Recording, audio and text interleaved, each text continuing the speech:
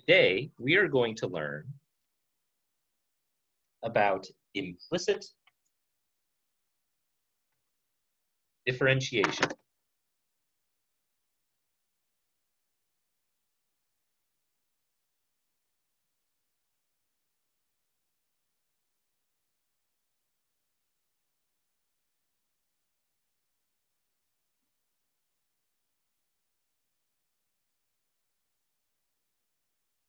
Our objective today is that students will be able to find dy dx, that is the derivative,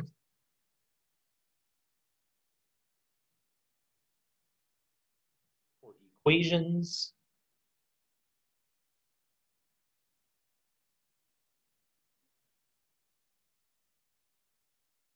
that are defined implicitly.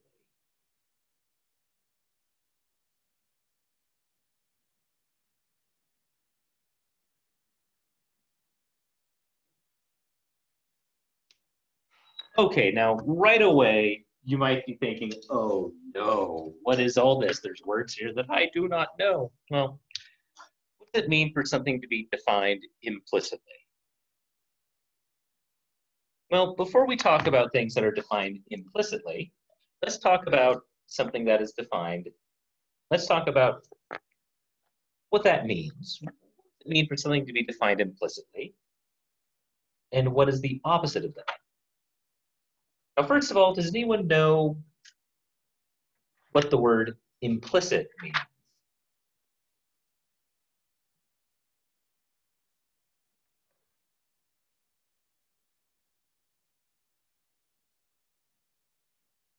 Hmm.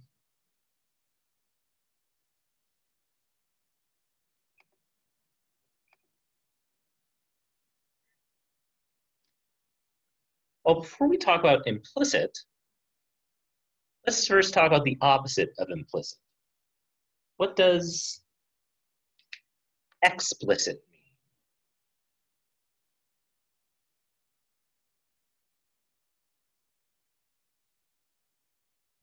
in not in math land, in in uh in real life, what does explicit mean?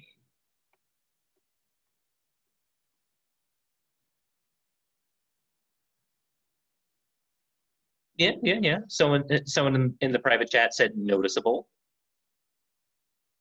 Yeah, that's correct. Explicit means in the open.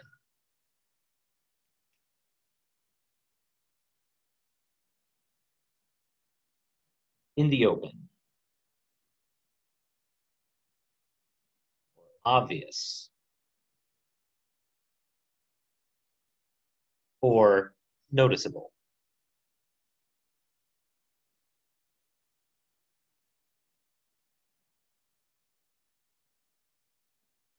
I know that I know that um, uh, just for an example that most people will be familiar with, what does it mean for it to have for a song to have explicit lyrics. Well, explicit doesn't mean vulgar or rude or swearing. Explicit means in the open, unhidden. In the context of, say, music lyrics, it means uncensored. The opposite of explicit is implicit.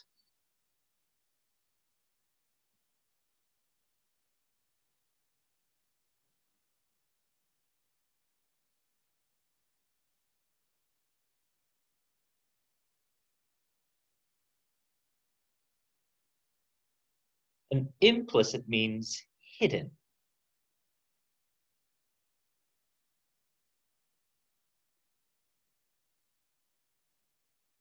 Or hard to notice.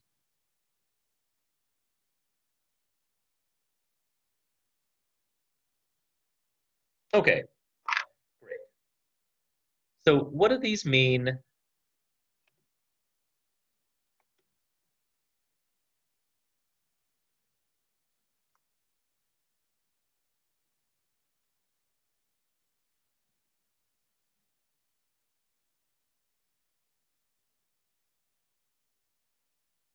So what do these mean in terms of math?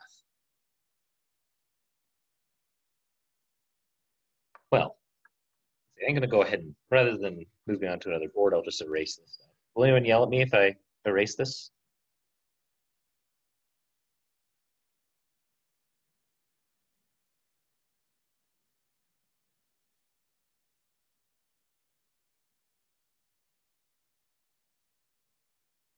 Okay, no yelling? All right. So in math, we usually talk of when we use explicit or implicit, it is usually referring to formulas. So an explicit formula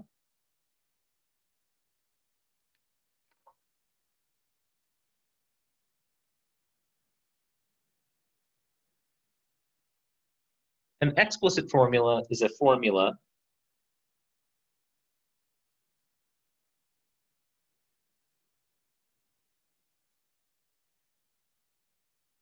that is solved for some variable.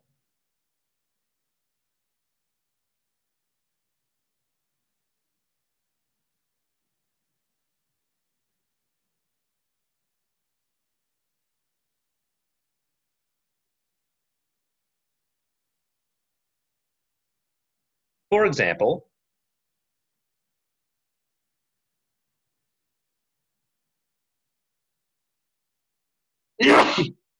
sorry.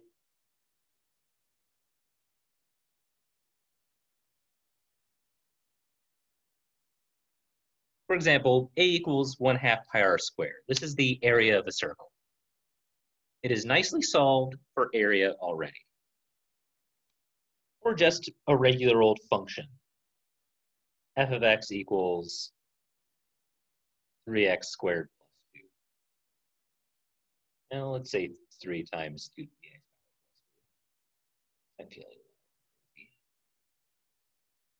so this, the, you know, man, let's go with those. Okay, 3x squared plus 2. Here, we are nicely solved for our variable, which is the output of this function. So that's an explicit formula, and all the derivatives we've done so far have been for form formulas written explicitly. You could find the derivative of this with respect to r easily enough. It would be 2 pi r. You could find the derivative of this with respect to x easily enough. It would be 6x. What then is a formula defined implicitly? These are what we'll be working with today.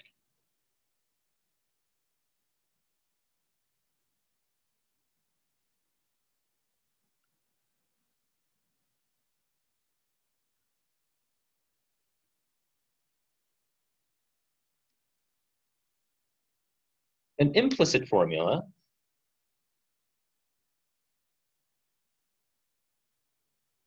is a formula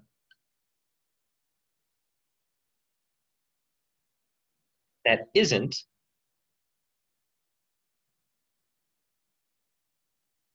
solved for any particular variable.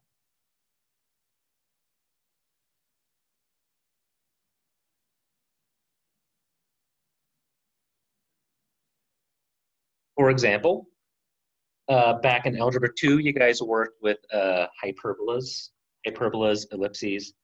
So something like x squared over 4 plus y squared over 16 equals 1.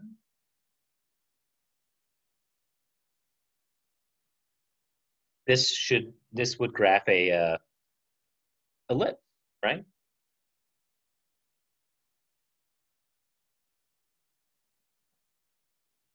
Another example might be a squared plus b squared equals c squared.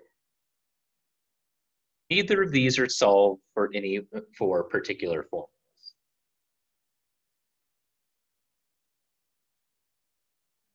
Or particular variables.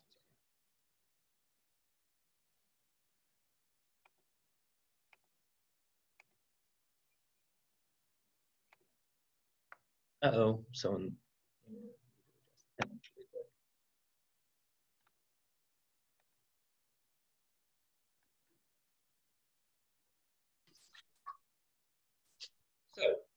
before we go on to talk about the actual calculus involved, let's take a look at the at just at for example, let's look at the graph.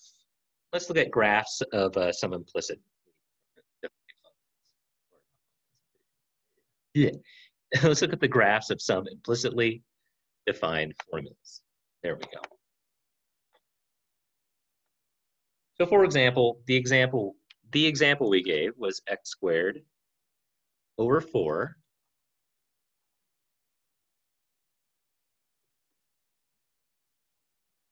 plus y squared over 16 equals 1. An ellipse. You worked with those last, uh, last uh, back in pre No problem. But you could also have other interestingly defined functions. For example, you might have, say, x cubed plus y to the third power minus 9xy equals 0.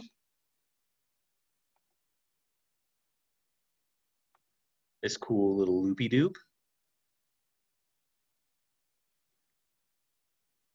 Or even something a little bit simpler like x equals y squared. This actually, well, this actually is an implicit function.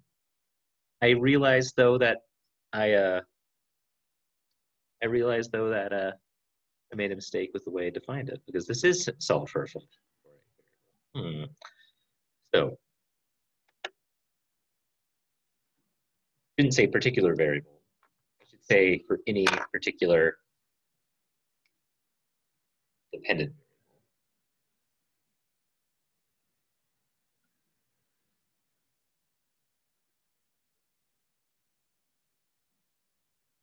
There we go that dependent variable is usually y. So if you have some function that isn't solved for y, it's an implicit function. Or that isn't solved for some dependent variable. Area depends on radius. f of x depends on our. My bad.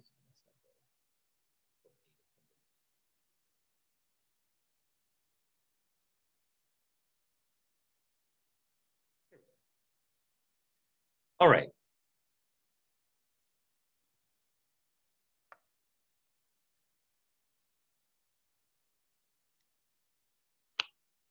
So,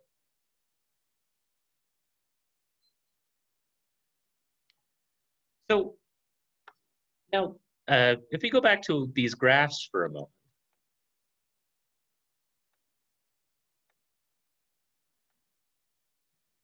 Now, something that you might notice is that these is that these graphs are not necessarily of functions. This graph that we've drawn here is, is not a function because it fails the vertical line test.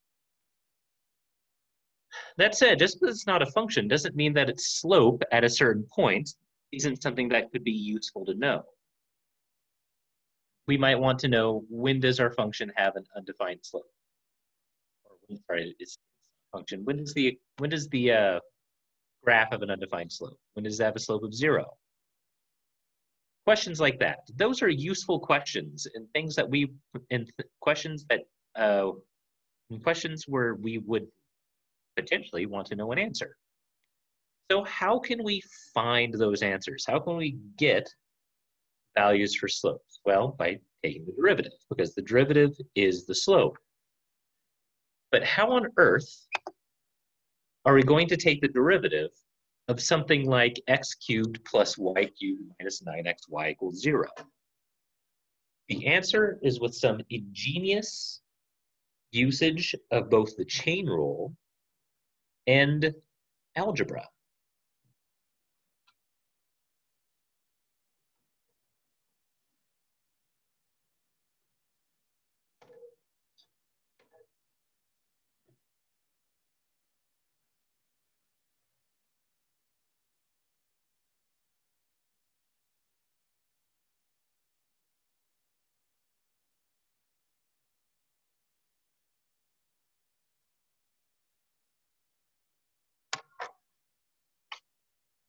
So,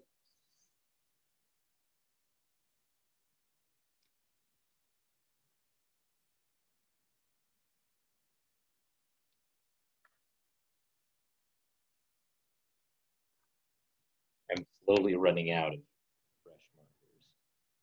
These ones I bought on Amazon have been lasting way longer than the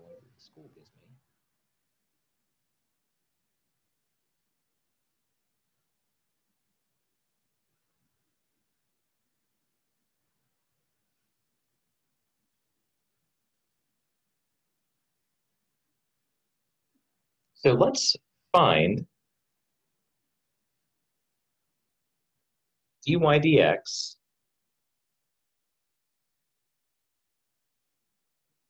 if y squared equals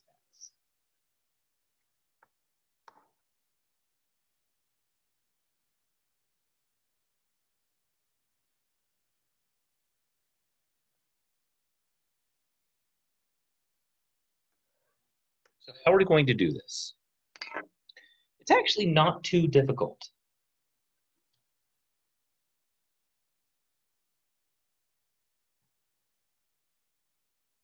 To find dy dx, differentiate both sides. Find the derivative, that is. Differentiate.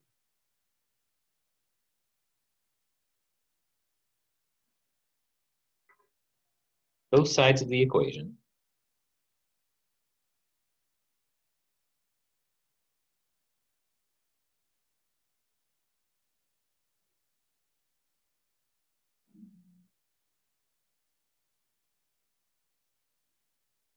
Now I'm going to write more to this sentence, so leave a little gap there in your notes, but let's see what happens when we try to take the derivative of both sides with respect to x. So,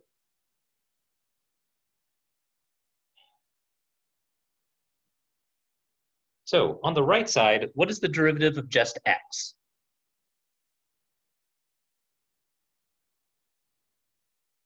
One. One, okay, that's pretty easy. The left side is where things get kind of messy. Now, we're taking font to find the derivative of y with respect to x.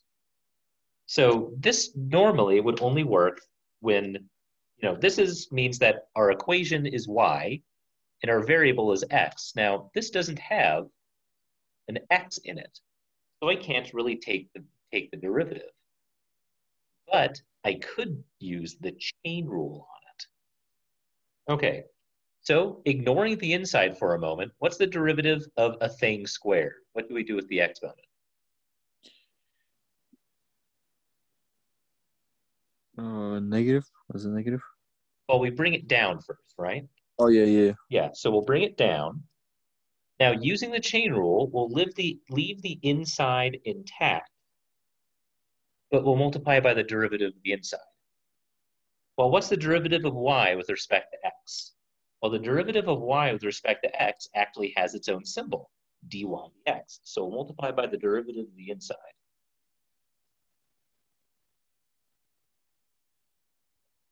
So we get 2y dy dx.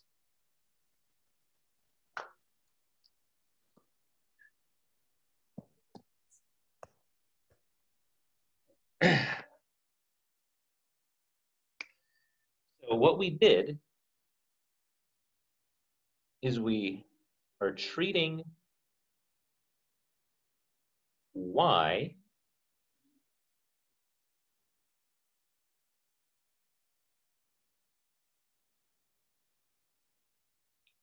as a function of x, because it is, or it can be, as a function of x, and we're using the chain rule.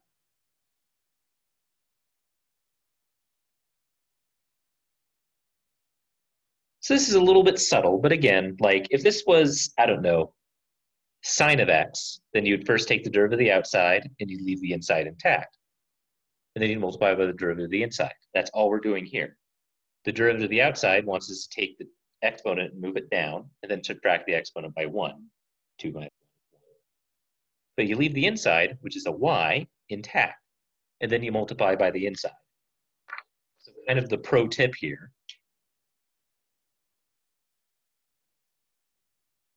is that the derivative of y is dy dx. Remember that the dy dx stands for the derivative of y with respect to x. So the derivative of y is the derivative of y. Go figure. But anyway, we're not done yet. We want to find dy dx. Now we know that 2 times y times dy dx equals 1. Is there some way that I could get dy dx on its own?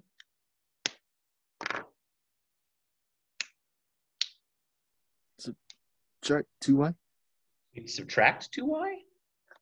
This is 2y times dy dx, yeah? Oh, um, divide divide. Divide by 2y.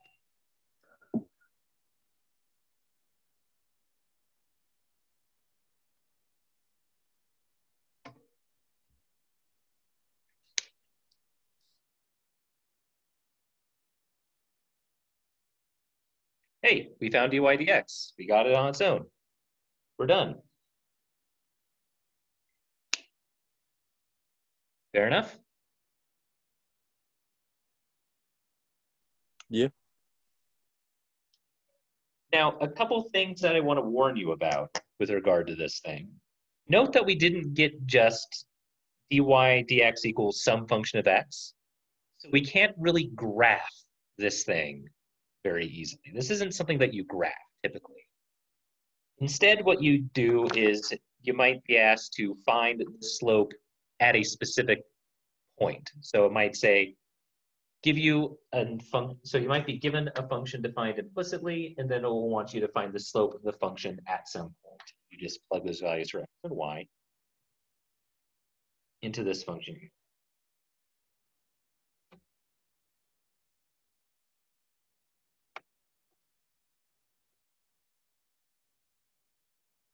So let's try an example. Or let's try another example. Now, first of all, I know what you're thinking. What you're thinking is, oh, I don't. Now,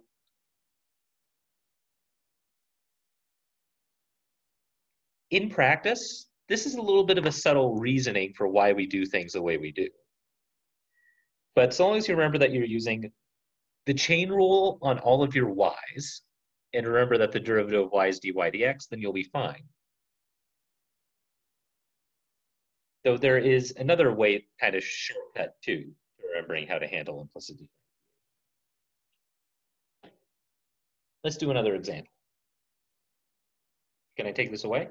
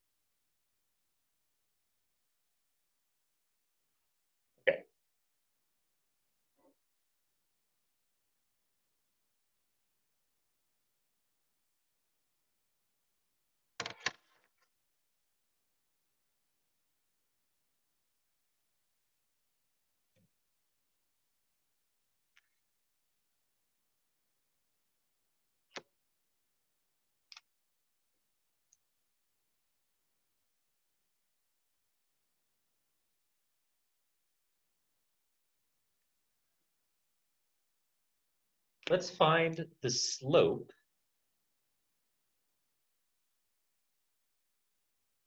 of x squared plus y squared equals 25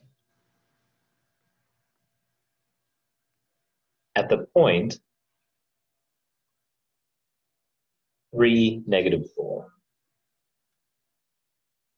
Okay. So, uh, how could, what's the, yeah, how can we find the slope? What's the thing that can tell us slopes? Starts with a D?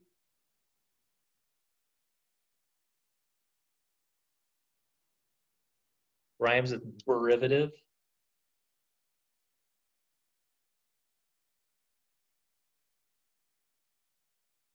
So remember that whenever you're finding the slope, that's the same as finding the derivative. That is what derivatives are used for. That's why we care about derivatives, is because they tell us slopes. So we want to find the derivative of this thing at the point 3, negative 4. All right, fantastic. So we have, get out of here, dead marker. You know what you did. So we have x squared plus y squared equals 25. And we want to find the derivative.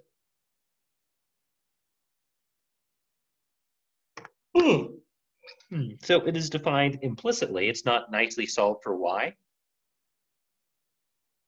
So we're going to want to differentiate both sides of the equation with respect to x, treating y as a function of x and using the chain rule.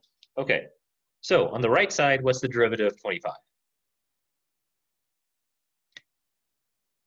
Zero. Mhm, The derivative of any constant is zero. Now what's the derivative of x squared? Two X. 2x. Now, this is the part that's going to be a little bit trickier. So what's the derivative of y squared? Well, ignoring, if we treat this, if we uh, treat the inside as like a function of x, let's use the chain rule. To find the derivative of the outside, we bring down the 2. And we leave the inside un- unchanged. The exponent is 1, but anything to the 1 power is itself. And then we multiply by the derivative of the inside. And what's the derivative of y? dy over dx. Exactly.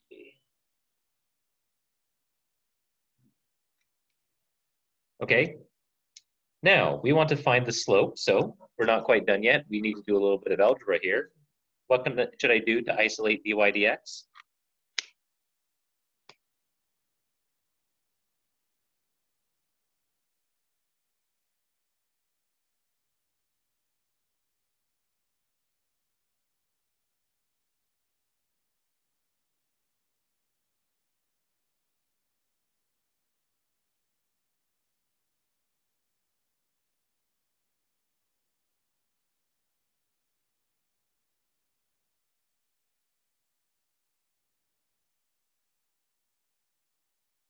Well, I want to get dy, I want to find the derivative. Here's the derivative right there. I don't yet have, but it's not yet on its own. You can't yet plug numbers in to find the slope. So I need to get this dy dx on its own. So we can subtract 2x from both sides. Now we have 2y dy dx equals negative 2x. Now what?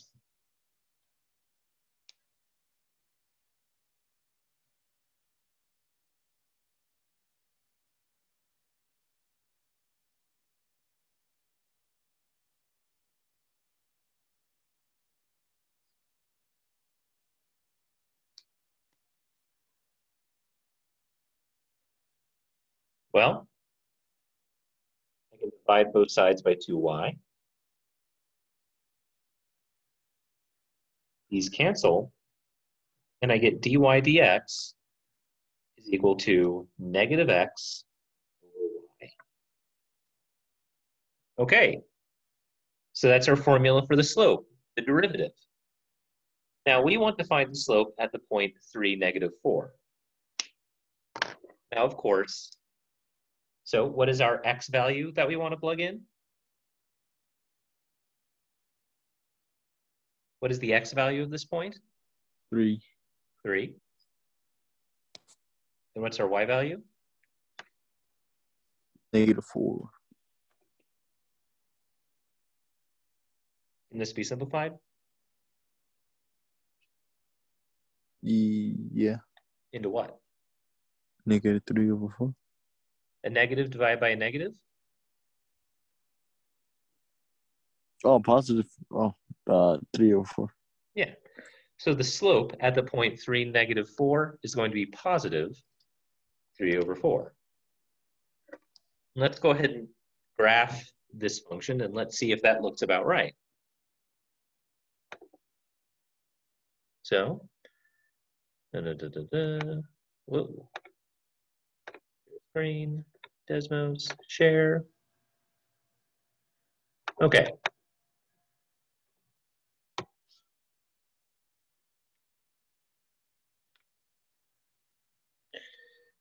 So we have x squared plus y squared equals 25, and we want to define the slope at 3, negative 4. Right 3, down 4. So does that slope look, does that look about right? 3 over 4 is should be a positive slope, which we see it's going up. 3 over 4 means that the slope is less than 1, so it's less than a 45 degree angle. Yeah, that looks about right to me.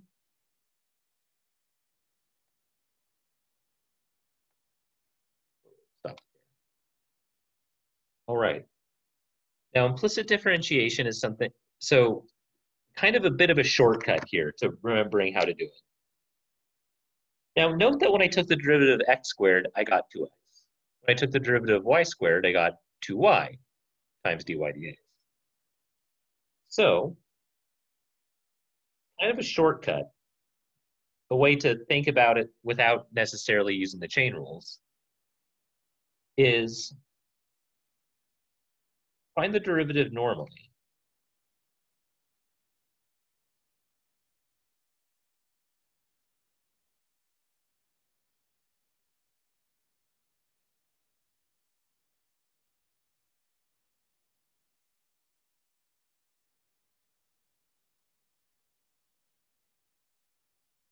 But whenever you take the derivative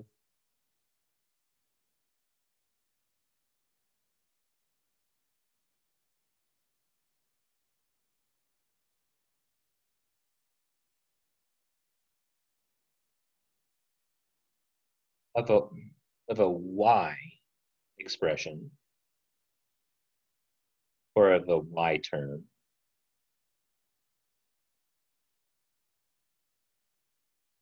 simply multiply by dy dx.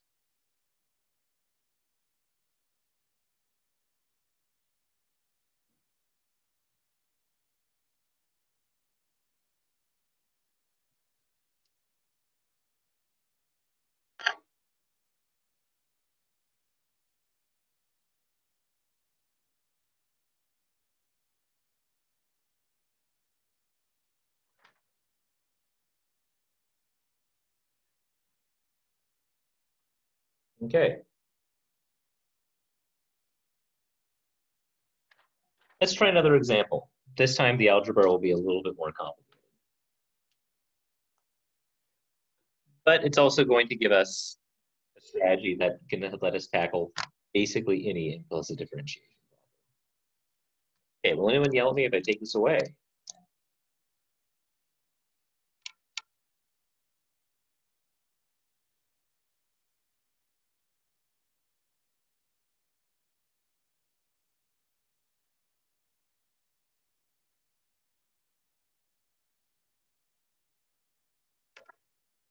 Okay.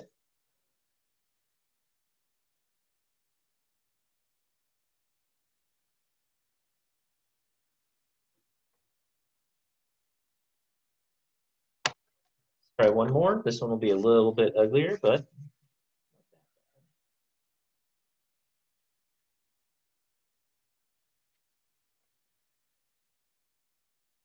okay.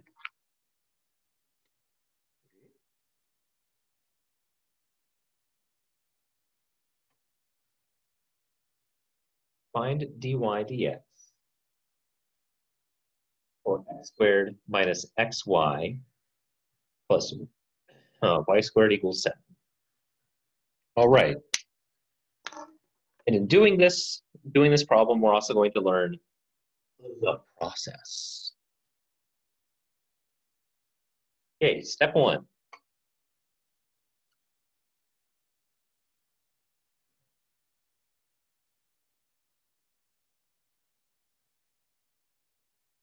differentiate both sides. Remember that the derivative of y is dy dx. Okay, so we're starting with x squared minus xy plus y squared equals 7. Take the derivative of every term. So, well, right side's easy. Derivative of 7 0. You know what? I'm going to make sure. The derivative of x squared. Derivative of x squared is 2x. Now, what's the derivative of negative xy? Well, this is a product rule. Let's see, the first times the second, the derivative of the second. So the so that would be negative x times dy dx. Plus the derivative, or the second times the derivative of the first. So y times negative 1. So negative y. Plus, now what's the derivative of y squared? Well, the derivative of just y is 2y, but we need to multiply by the derivative of the inside. The Derivative of the inside is dy dx. Again, note that whenever I find the derivative of y, I'm just basically multiplying it by dy dx. So derivative of y squared is 2y dy dx. Okay, now what? Well, I want to isolate the dy dx. So I'd isolate it the same way that I would any other variable. It looks like I have these two dy dx terms. So I should gather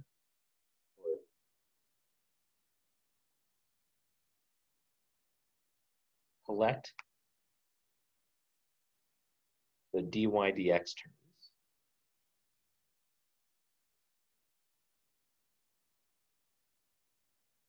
on one side of the equation.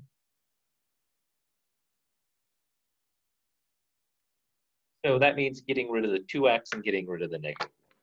So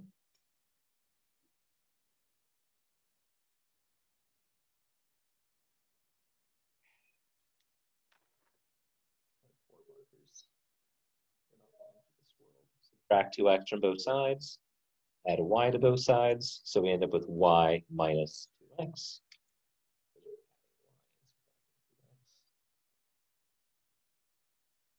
Okay. I'm going to put the positive term first because that generally looks a little nicer.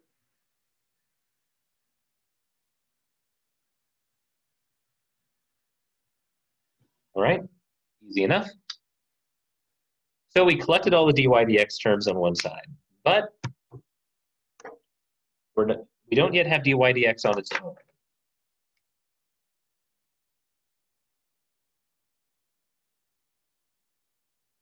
Now we can factor out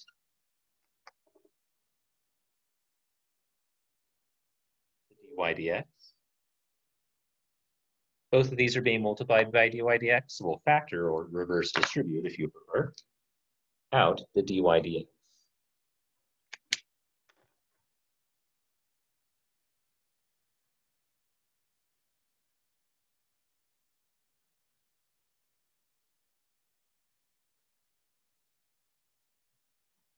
Okay, now now if I just divide both sides by 2y minus x, I'll have dy dx on its own.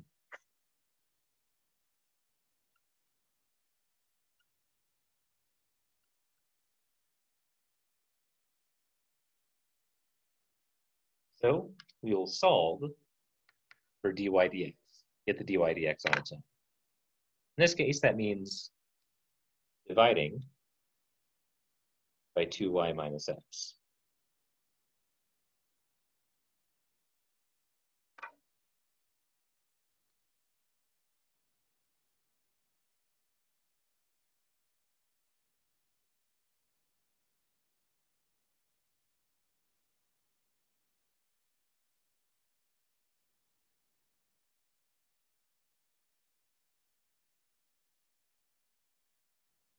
There we go.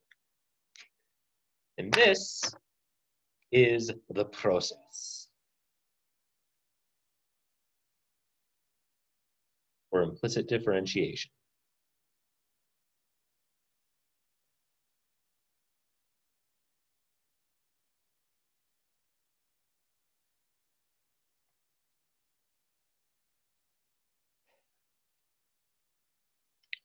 You do a little bit of calculus at the beginning, but then the rest of this is just algebra. All right. So today we learned about implicit differentiation. We learned what an implicitly defined equation is and what an explicitly defined equation is. We saw how we can take the derivative of an implicitly derived, yeah, implicitly defined equation. All right. Well, anyway, I think that that is all we needed to cover for today. I will. There will be a check for understanding. I will see you guys tomorrow. Have a good day. And also, it's good to be back. I missed you guys. Bye bye.